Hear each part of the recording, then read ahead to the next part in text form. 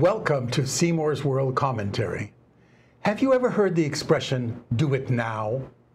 One day you will wake up and there won't be any more time to do the things you've always wanted to do.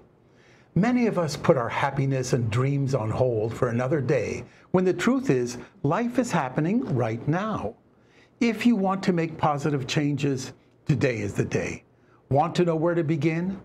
We all need to create a vision for our lives Get clear on your purpose, what drives you, and what you desire for your love life, relationships, career, finances, lifestyle, well being, and personal growth. Here are some ideas.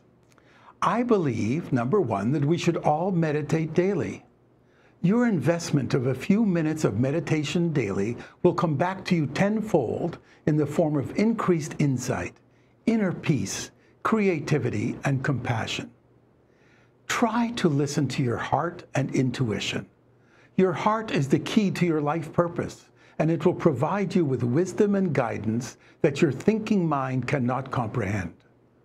Try something new in your life. Don't live the same year after year and call it a life. Try a new route, a new coffee shop, walking trail, hobby, activity, city, or career. We all need to make time for joy and pleasure. Write a list of all the things that make you come alive and do them weekly. The whole world will benefit from your light and joy. Take your attention away from the circling thoughts and worries in your head and connect with the sounds, the sights, the smells, the textures, and the beauty of life surrounding you.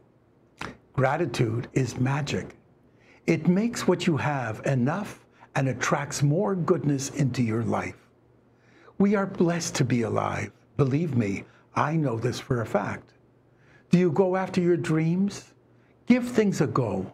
You miss 100% of the shots you don't take. You are more likely to regret not trying than trying. What is life for if not for living fully?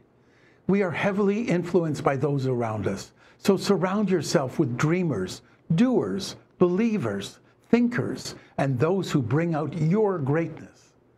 We have to love and accept ourselves.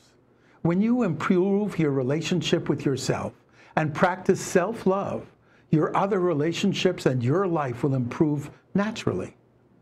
Everything starts to work. Do you sometimes repeat the same mistakes? I know I do. Give thanks for everything wonderful that happened and acknowledge what isn't working so well so you can fix it instead of repeating the same patterns. Small wins build your confidence and build you up to have more success. Look for more ways to celebrate yourself and your loved ones. Get in touch with your essence, your inner being, the part of you that exists beyond your thoughts, emotions, titles, roles, and labels we have to let go of the past. It's not happening here and now, it's only in your mind. When you continue to relive the past, you rob yourself of the peace, the beauty, and the opportunity available to you in the present moment. Here is my guilty sin. I need to simplify my life. If you are feeling overwhelmed, track what you do in a typical week and see what you can remove. Perhaps too much television? Worrying, or how about social media scrolling? That's not serving your highest good. Do you value your happiness? We are so quick to give away our happiness over trivial matters or things outside of our control when it is one of the most valuable things we possess.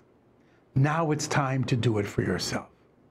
Thank you for watching Seymour's World commentary on ThinkTech Hawaii. Send me your comments. Aloha.